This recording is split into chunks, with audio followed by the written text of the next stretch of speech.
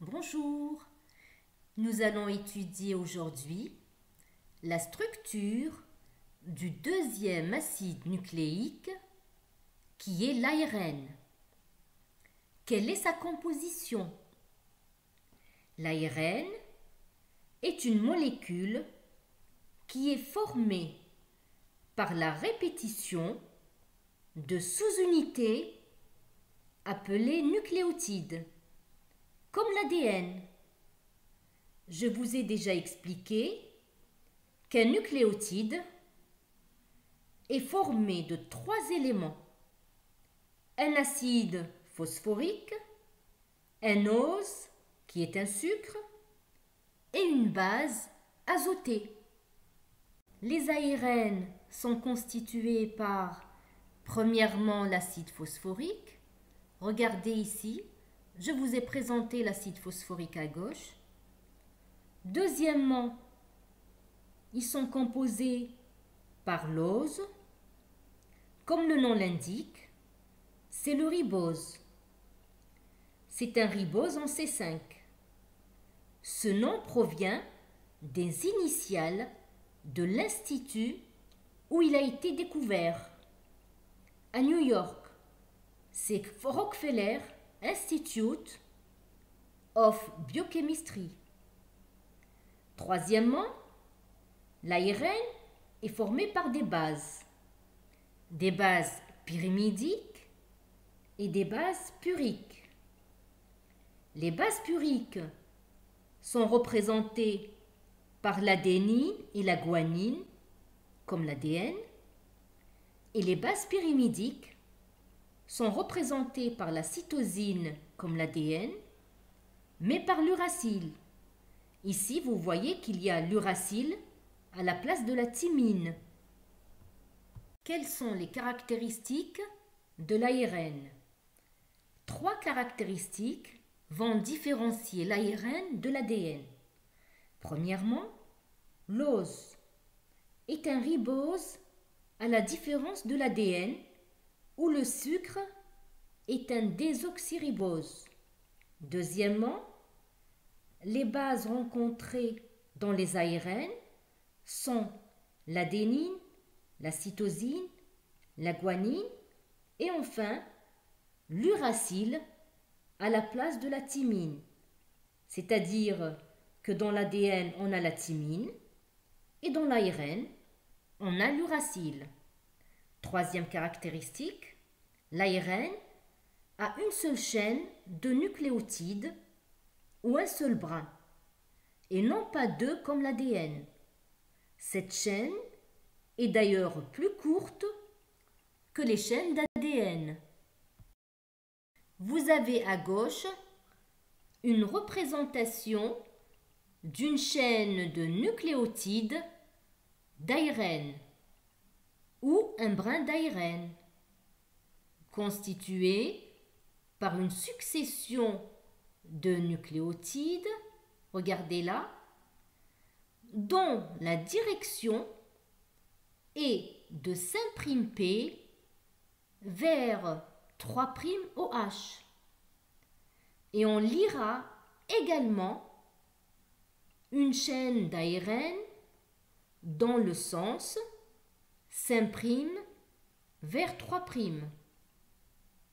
Regardez à droite, je vous ai mis une remarque. Concernant l'ARN, l'appariement entre bases complémentaires pourra s'observer soit entre deux molécules d'ARN différentes, soit molécule d'ARN dans une région repliée en épingle à cheveux. Et les règles d'appariement entre deux brins d'ARN seront les mêmes qu'entre deux brins d'ADN. Concernant la cytosine et la guanine, par contre, l'uracile remplace la thymine.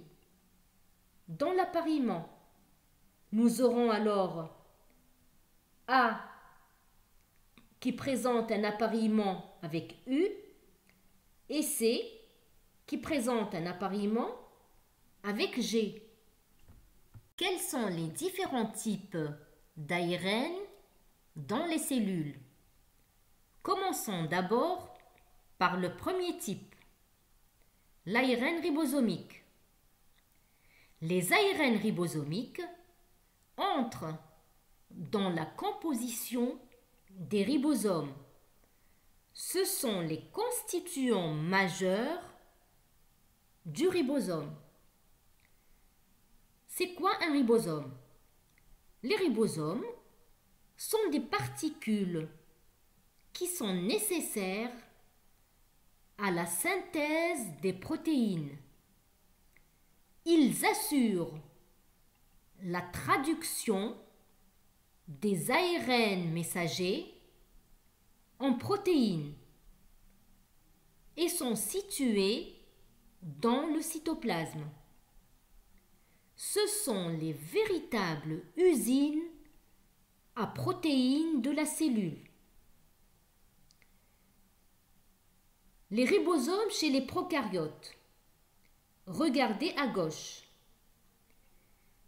Escherichia coli est prise comme exemple. Elle a un ribosome de 70 S.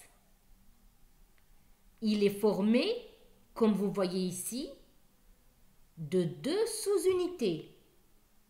Une grande sous-unité de 50 S et une petite de 30 S.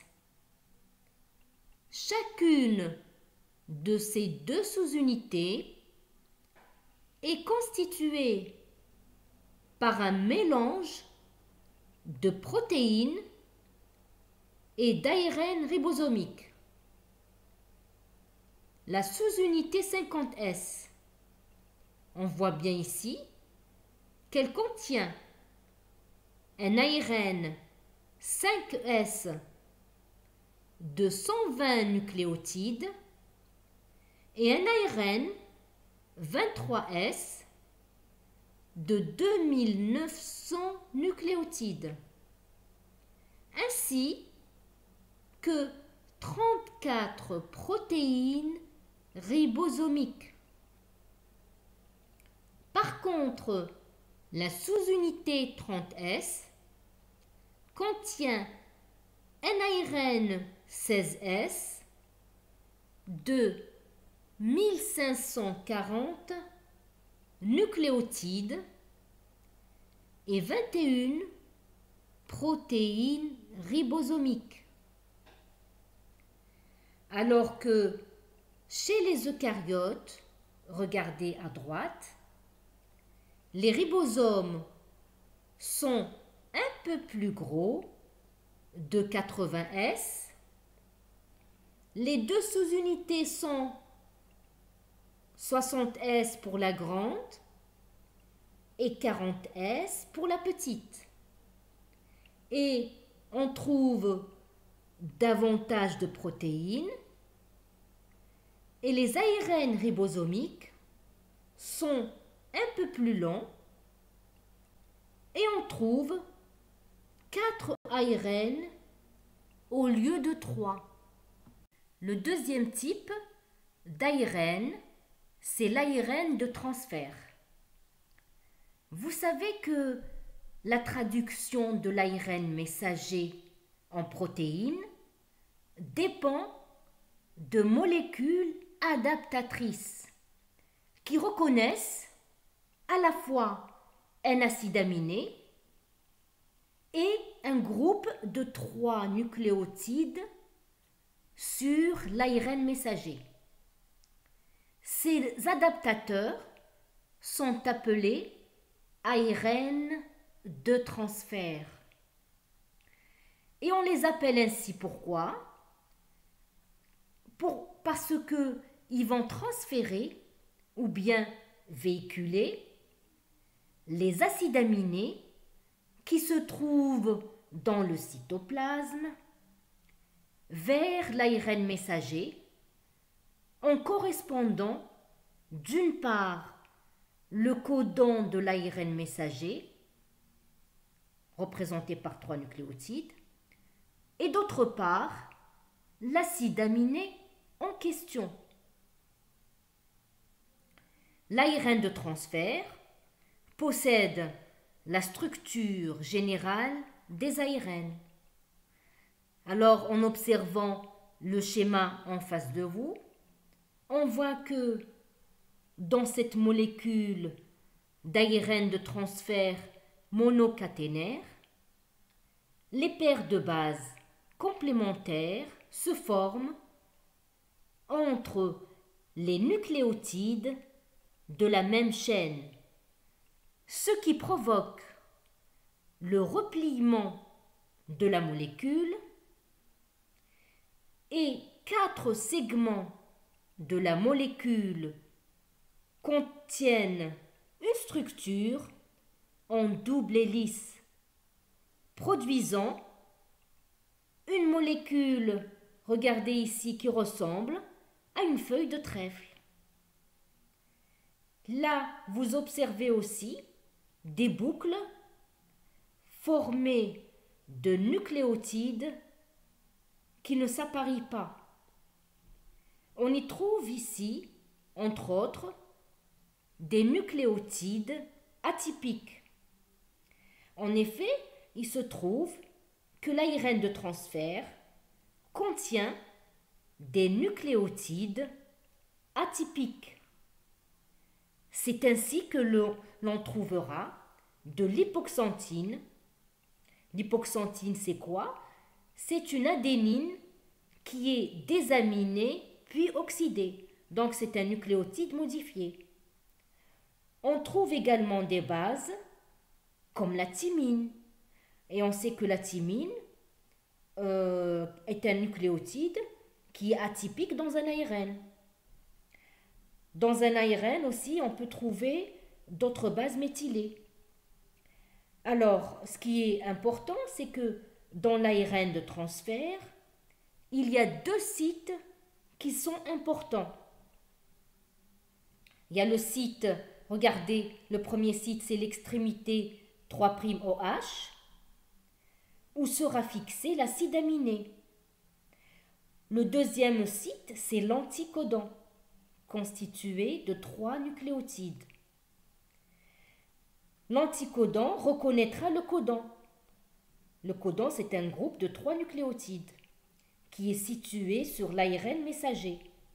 Nous verrons plus tard tous les détails dans la synthèse des protéines. Troisième type, d'ARN, l'ARN messager.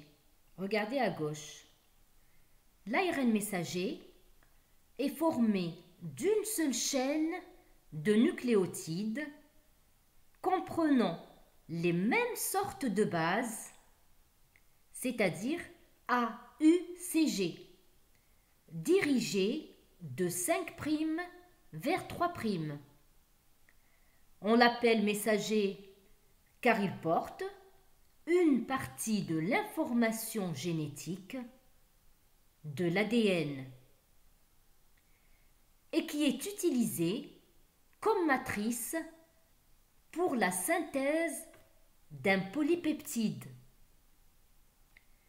La taille de la molécule d'ARN messager dépend de la longueur de la ou les chaînes polypeptidiques pour laquelle il code.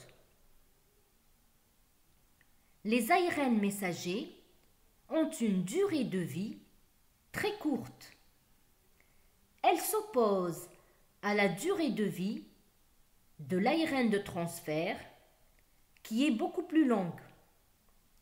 À titre d'exemple, chez les bactéries, la durée de vie d'un ARN messager est de quelques minutes, alors que chez les eucaryotes, la durée de vie est de quelques minutes à quelques jours. Les ARN messagers se renouvellent très vite. En effet, ils sont rapidement produits est rapidement dégradé. De plus, un ARN messager peut être lu plusieurs fois au niveau du ribosome. Maintenant, le dernier type d'ARN, c'est les snRNA. Ce sont de petites molécules d'ARN, regardez à droite, 200 à 300 nucléotides situés dans le noyau et non dans le cytoplasme et sont associés à des protéines spécifiques qui interviennent dans la maturation du pré-ARN messager, appelé SNRNP, c'est-à-dire petite ribonucléoprotéines nucléaires. On en distingue cinq, identifiées par la lettre U correspondant à l'uracile. Donc là, euh, il y y a la U1, U2, U4, U5 et U6. Nous reverrons ces ARN lorsqu'on étudiera les modifications post-transcriptionnelles.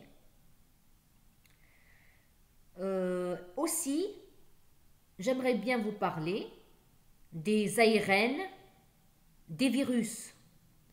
Il se trouve que de nombreux virus possèdent un génome à base d'ARN. Certains possèdent un ARN bicaténaire en hélice, analogue à l'ADN, et d'autres possèdent des ARN monocaténaires. Alors là, voilà, nous arrivons à la fin de ce cours et je vous invite à suivre le prochain qui traite la réplication de l'ADN chez les prokaryotes et les eucaryotes.